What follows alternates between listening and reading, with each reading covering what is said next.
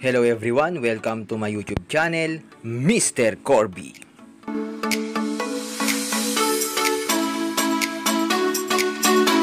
Our topic for today is about types of cleaning solvents.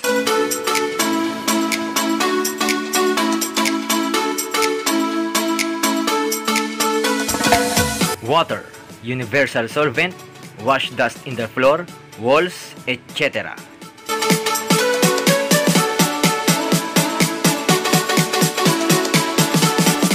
Detergent, soap, and water. Wash and clean benches, tables, cabinets, etc.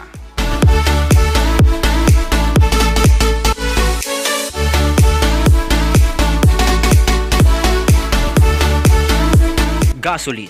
Wash greasy tools and equipment.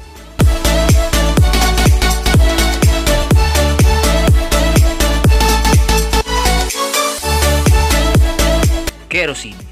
Remove dust, grease, oil, paint, etc.